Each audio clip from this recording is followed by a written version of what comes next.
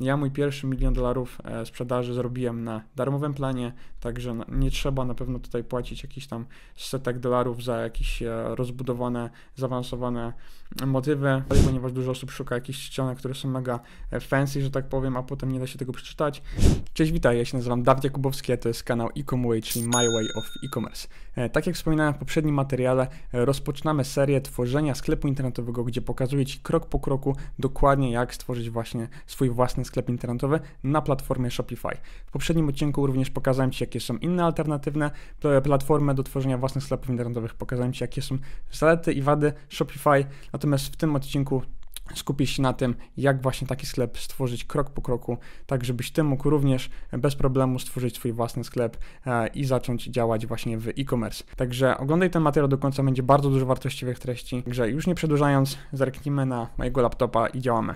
Ok, tak jak widzisz, jesteśmy na stronie Shopify. E, oczywiście link do tej, e, do tej strony również będziesz miał w opisie. Klikamy sobie tutaj Start Free Trial i mamy 14 dni właśnie za darmo ten, ten Shopify i dopiero po 14 dniach zaczynamy płacić i pierwsza kwota, ten basic plan to jest 29 dolarów, także na pewno nie są to jakieś ogromne pieniądze. I tutaj wpisujemy sobie nazwę, nazwę naszego sklepu, oczywiście jeśli nie mamy jeszcze nazwy, jeszcze nie mamy e, tej domeny, to możemy sobie wpisać e, coś ogólnego po prostu, żebyśmy mogli się zalogować na ten sklep. Ja napiszę Ecomway test store my Shopify i klikamy sobie tutaj create your store i tutaj mamy teraz powiedzieć parę rzeczy na temat naszego e, sklepu. Możemy sobie to zrobić skip, natomiast e, możemy wybrać I'm just playing around, e, gdzie będziesz sprzedawał Facebook, Instagram, jakie jest Twoje obecne revenue, czyli sprzedaż. Dajmy sobie tutaj do 5000, zaczynamy dopiero. Jakie industry? Niech będzie to sports żeby coś sobie tutaj wybrać. Oczywiście to nie zobowiązuje w żaden sposób, można sobie to potem e, w jakiś tam sposób pozmieniać. E, mamy tutaj e, informacje na temat naszego adresu. Ja sobie wpiszę tutaj moje informacje. Ten adres nie musi być to adres naszego biznesu czy adres naszej firmy. Jeśli tak jest, to możemy sobie tutaj kliknąć na dole This store is a registered business. Natomiast jeśli po prostu zaczynamy, jeśli nie mamy jeszcze swojej firmy, możemy podać po prostu swój adres zamieszkania, to też będzie w porządku klikamy sobie tutaj Enter My Store i jesteśmy już tutaj na, na, naszej platformie e, Shopify. Tak jak widzisz, z prawej strony jest Dawid Jakubowski. Nazwa naszego sklepu to był Ecomway Test Store.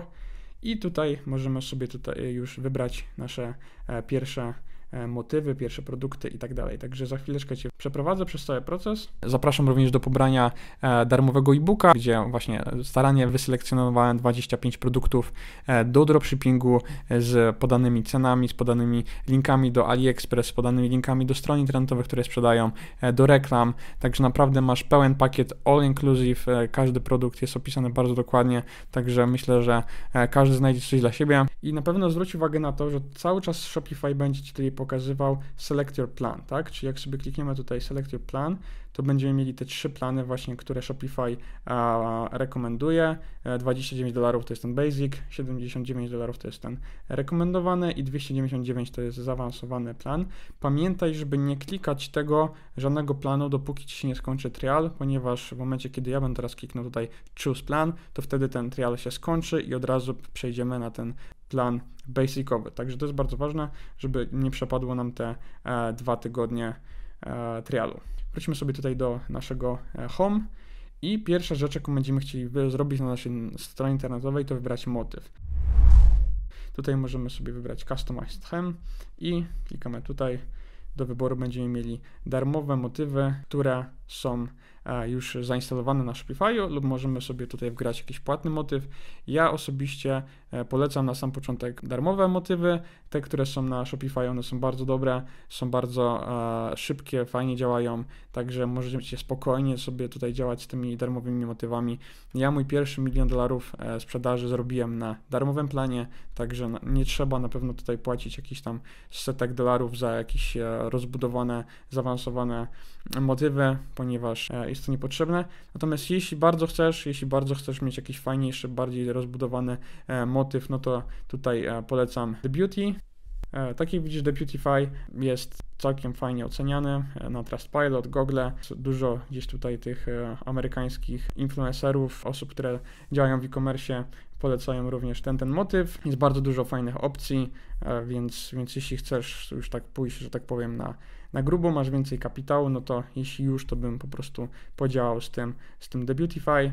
E, ja z niego obecnie korzystam, konwersja na sklepie jest mniej więcej 5-6%, także bardzo, bardzo przyjemnie.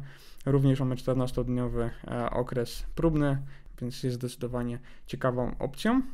No ale wróćmy sobie tutaj do naszego Shopify'a i e, w momencie, w którym jesteśmy tutaj do wyboru tego motywu, klikamy sobie tutaj Explore Free Themes. Tak jak widzisz też tutaj u góry mamy pierwszy motyw, który jest automatycznie zainstalowany na Shopify, to jest Down. Wcześniej to było Debut. Teraz, teraz już jest nowy motyw, którego szczerze mówiąc jeszcze nie widziałem, więc za chwilkę sobie sprawdzimy go. Natomiast wchodzimy sobie tutaj właśnie Explore Free Themes i możemy sobie wybrać jakiś motyw, który nam odpowiada. Ja osobiście bardzo lubię Brooklyn. Na tym motywie miałem wcześniejszy sklep internetowy, także e, bardzo fajnie działa. W momencie, kiedy chcemy sobie na przykład właśnie ten motyw zainstalować, klikamy sobie dodaj do motywu, e, do tej biblioteki motywów. W tym momencie w tej bibliotece pokazuje się ten Brooklyn, no i jest już dodany i w tym momencie, jeśli byśmy chcieli zamienić sobie ten nasz oryginalny motyw down na Brooklyn, klikamy sobie tu Action i Publish i wtedy za, zastąpimy ten aktualny, który mamy down na tego Brooklyna. Natomiast ja bym chciał się pobawić troszeczkę z tym downem, e, ponieważ e, nie, nie, nie widziałem tego motywu jeszcze, więc chętnie zobaczę, co tam ciekawego zrobili. Więc e, klikamy sobie tutaj Customize i tak jak widzisz, to jest nasza strona internetowa na tą chwilę, więc za dużo tutaj się nie dzieje. Wszystko jest, e, że tak powiem, puste. E, są same example, example, ceny e, ogólne i tak dalej, więc chcemy sobie to wszystko poustawiać. Naturalnie tutaj po lewej stronie mamy cały ten panel, którym obsługujemy e, ten nasz motyw. E, mamy announcement bar, czyli tutaj u samej góry mamy welcome to our store. Na tą chwilę nie jest to do, e, dostępne z jakiegoś powodu. Ok, tutaj, tutaj mamy. E, tutaj możemy sobie to wybrać, więc na przykład sobie wpisujemy free.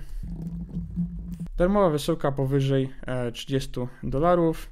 E, możemy sobie tutaj wybrać różne kolory tego e, backgroundu na przykład czarny.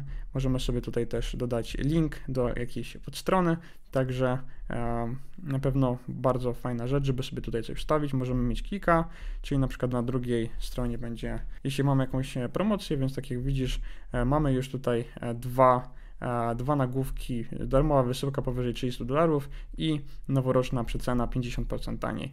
Także tutaj już dosłownie w 30 sekund ustawiliśmy sobie te, e, te announcement bary, te, e, te nagłówki. E, jeśli chodzi tutaj o ten główne zdjęcie, to będzie to oczywiście image banner. Możemy sobie tutaj wrzucić nasze zdjęcie jakieś lub wykorzystać takie, które są z tutaj tej ich galerii, tej biblioteki. E, ma, miało być to coś związane ze sportem, także weźmy sobie tutaj fitness and sport. No i powiedzmy e, coś takiego byłoby w porządku. Możemy sobie tutaj też dać jakąś e, nazwę, czyli wpisujemy sobie na przykład New Year, New Me, większy napis i tutaj możemy sobie dodać ten link do na przykład produktów na naszej stronie. Także tak jak widzisz tutaj jest to całkiem sporo opcji, więc też nie jestem w stanie Ci to wszystkiego, e, Ci tego wszystkiego tutaj pokazać. Natomiast zachęcam Cię do tego, żeby, żeby sobie to wszystko przeklikać, sprawdzić, co dokładnie robi każda opcja. E, jest naprawdę bardzo dużo możliwości personalizacji tego. E, tutaj ten, to zdjęcie mi się nie załadowało, spróbujmy jeszcze raz. No i mamy tutaj to zdjęcie tak? I idąc dalej, tak samo mamy tutaj e, rich text, również możemy sobie tutaj e, powpisywać to, co chcemy, e, jakieś promocje, jakieś informacje na temat naszego produktu, czy jakiś stronka about us. Tutaj mamy te wszystkie sekcje, tak? Czyli im dalej schodzimy sobie, potem mamy um, produkty, które są wyróżnione, które tutaj sobie wybierzemy. Również to jest właśnie ten, ta sekcja feature po collection. Potem mamy ten college, jakieś wideo, to wszystko możemy sobie tutaj oczywiście kliknąć, zmodyfikować każdą z tych rzeczy. E, jeśli nam się coś nie podoba, to wtedy klikamy sobie w dane, daną sekcję, klikamy Remove Section, więc wtedy tego nie będziemy mieli. Nie chcemy mieć wideo, to klikamy sobie Remove Video, a na przykład chcemy jakąś inną sekcję, więc klikamy sobie tutaj Add Section i na przykład chcemy email pop-up i ten email pop-up sobie przesuniemy zaraz pod banerem naszym, bo chcemy, że jak ktoś wejdzie na stronę główną produktu, to ma zdjęcie, ma tutaj jakiś opis i od razu może się zapisać do naszej listy mailowej. Kolejną ważną rzeczą, którą trzeba tutaj podkreślić, to jest w momencie, kiedy będziemy przechodzili na, na poszczególne strony. Po lewej stronie ten menu, które możemy sobie tutaj właśnie te wszystkie rzeczy ustawiać, to się będzie zmieniało. Czyli w momencie, kiedy wejdziemy sobie na, na katalog, to wtedy te nasze opcje będą w zależności od tego, co mamy w tym katalogu, tak? Czyli na przykład mamy tutaj katalog banner, który będzie się pokazywał. Jeśli wejdziemy sobie na stronkę kontakt, gdzie mamy możliwość do, do zostawienia właśnie wiadomości, no to tutaj również ta sekcje będą troszeczkę inne i inne rzeczy rzeczy będą się tutaj pojawiały. Więc chcemy sobie to przeklikać przez całą stronę, żeby w każdym miejscu e, było to e, skonfigurowane tak, jakbyśmy chcieli. Tak jak widzisz, jest tego sporo, więc troszeczkę czasu trzeba na tym poświęcić. Jeśli nigdy tego nie robiłeś wcześniej, no to faktycznie warto sobie te wszystkie sekcje tutaj posprawdzać, co one robią, co można, w jaki sposób można modyfikować. Pamiętaj też, że na przykład w zależności od motywu, e, czyli to teraz mamy ten motyw down, to tutaj wygląda troszeczkę inaczej. W motywie na przykład Brooklyn też to będzie wyglądało troszeczkę inaczej. Ważna kwestia jest również to, żeby zawsze optymalizować sobie ten sklep pod mobile, czyli tutaj możemy sobie w prawym górnym rogu wybrać, czy chcemy to mieć na desktopie ten podgląd, czy na mobile. I tak jak widzisz, jak jesteśmy teraz tutaj na mobile, to troszeczkę inaczej to wygląda. Tutaj ten, ten obrazek się zmniejszył. Teraz ten napis New Year, New Me mamy troszeczkę niżej, więc to również weź pod uwagę, ponieważ większość Twojego ruchu będzie na Twoją stronę z mobile. Kolejnym ważnym sprawą, jeśli chodzi o motyw, będzie to ustawienie tego motywu. Jak klikniemy sobie tutaj w lewym dolnym rogu, możemy sobie ustawić takie rzeczy jak kolory, czcionki, style, layouty, social media i tak dalej, czyli na przykład wchodząc sobie tutaj w kolory, możemy wybrać jakie każdy e, akcent będzie miał ten kolor czyli na przykład ten kolor, który wybierzemy teraz będzie używany jako background przycisków, czyli na przykład e, dodanie do koszyka lub jakieś inne przyciski będą właśnie w tym kolorze. Na tą chwilę mamy, e, zmienia się nasz ten header, ponieważ wybraliśmy sobie tam wtedy akcent 1, więc również się zmieniło tutaj. Tak jak widzisz, zmienił się Shop All, również się zmieniło na czerwony, także chcesz sobie również te wszystkie kolory pozmieniać pod siebie, żeby to było fajne, spójne i um, maczowało się z Twoją marką i z Twoimi kolorami Twojej marki. Kolejna sprawa, którą tutaj mamy, no to będzie topografii, czyli mamy swoją czcionkę, możemy wybrać taką, jaką nam się podoba. Tutaj mamy rodzaje tych czcionek, jakie są wszystkie nazwy i tak dalej, więc jest tego mnóstwo. Wybierz sobie taką czcionkę, która Ci odpowiada. Zwróć uwagę na to, żeby nie była ona zbyt taka wydziwniona, żeby nie była zbyt taka nieczytelna i tak dalej, ponieważ dużo osób szuka jakichś ścianek, które są mega e, fancy, że tak powiem, a potem nie da się tego przeczytać. Znajdź ściankę, tak jak tutaj widzisz, ta jest bardzo ładna, bardzo czytelna, więc coś takiego w zupełności wystarczy i nie ma co kombinować z jakimiś wymyślnymi e, czcionkami. Kolejne sekcje tutaj mamy właśnie te style, e, te akcenty, które możemy sobie wybrać, które chcemy, layouty, jaki ma być, jaka ma być wielkość, social media, tutaj wpisujemy sobie nazwę naszego Facebooka, naszego Instagrama, to wtedy również się pojawi w motywie. Favicon jest to ikonka, która się pokazuje przy nazwie naszego sklepu w wyszukiwarce, tam gdzie jest nazwa www.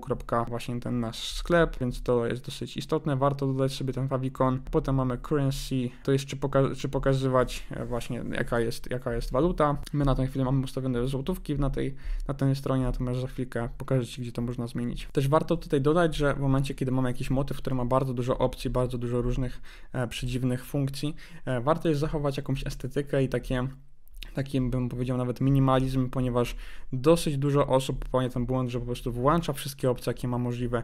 Jeśli announcement bar daje możliwość zrobienia pięciu announcementów, to tutaj będą oni mieli po prostu tak to zrobione, że po prostu jak najwięcej tego tekstu, żeby dowalić, tylko no nie jest to w żaden sposób potrzebne, więc zwróć uwagę na to, żeby ten, żeby ten sklep był chludny, żeby to było czytelne, żeby się nie nachodziło na siebie te teksty, żeby to nie było zbyt hamskie, żeby to nagle nie było po prostu na samym środku e, wyprzedaż 80% taniej i po prostu na e, żółto, czerwono, zielono po prostu wyskakujące jakieś pop-upy to ma być schludne, to ma być ciekawe, to osoba, która wchodzi na Twój sklep musi mieć zaufanie do tego sklepu, więc jeśli on będzie wyglądał kiczowato, jeśli będzie wyglądał nieprofesjonalnie, to po prostu nikt od Ciebie nie kupi na tej stronie. Ok, zapiszmy sobie to, co tutaj na tą chwilę ustawiliśmy, żeby e, przejść dalej. Jak klikniemy sobie tutaj po lewej stronie właśnie w Online Store i tutaj mamy takie oczko, wtedy nam się pokaże e, właśnie pod, podgląd tej naszej strony, jak ona wygląda na tą chwilę. No na, na razie tutaj zbyt dużo się nie dzieje, no na razie mamy tylko to zdjęcie i ten napis, także e, jeszcze dużo pracy przed nami, natomiast chciałem Ci mniej więcej pokazać na tą chwilę, jak to wszystko można e, ustawiać i edytować. I teraz chciałbym Ci również pokazać, jak dodawać produkty Tutaj tych wszystkich opcji, które są po lewej stronie, na razie nie będę omawiał, ponieważ no to by naprawdę ten, ten film wyszedłby parę, parę godzin prawdopodobnie, gdybym wszystko chciał Ci pokazać, więc na razie zróbmy sobie też dodawanie produktu, więc wchodzimy w Products i tutaj mamy właśnie do wyboru All Products, Inventory, Transfers, Collections i Gift Cards.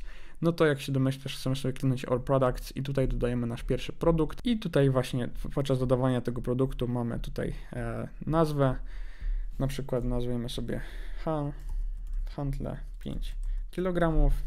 Tutaj mamy opis, więc w tym opisie chcemy sobie dodać e, właśnie jakieś informacje na temat tego produktu. Ja sobie tutaj to skopiuję. No tutaj akurat to mamy po polsku, tam mieliśmy po angielsku, ale trudno, na razie sobie tylko to e, tak robimy e, na pokaz. Właśnie w tym opisie możemy sobie tutaj to w, w, różny sposób modyfikować, oczywiście możemy mieć to na samym środku, tu możemy sobie zrobić e, heading, czyli wtedy to będzie o wiele większe, e, więc też sobie tutaj wybierać albo heading to będzie właśnie tytuł, a paragraf no to będzie oczywiście tekst normalny. Dalej mamy media, czyli tutaj sobie możemy dodać zdjęcia naszego, e, naszego produktu, e, więc po prostu klikamy add files, wybieramy z naszego dysku mm, zdjęcia i, i wszystko tutaj działa. Cena, tutaj możemy sobie wpisać na przykład cenę 49 e, 99 przecenione z 79,99. Tutaj mamy możliwość zapisania, czy chcemy mieć e, ten, e, czy chcemy kasować dodatkowy podatek na to, czy nie. To, to, to się bardziej tyczy jakichś podatków doliczanych, ty, typu na przykład sales tax w Ameryce, więc to nie chcesz tego na tą chwilę nie, nie zaznaczaj. Tutaj możesz sobie podać cenę, jaką, e, jaką ty płacisz za ten produkt, żeby dzięki raportom Shopify'a można było sobie to e, wszystko obliczyć, ile faktycznie zarabiasz na tym, więc tutaj możemy sobie na przykład napisać, że nasz produkt w hurcie kosztuje 12,50 i wtedy widzimy, że nasz profit to jest 37,49, czyli mamy e, marżę 75%.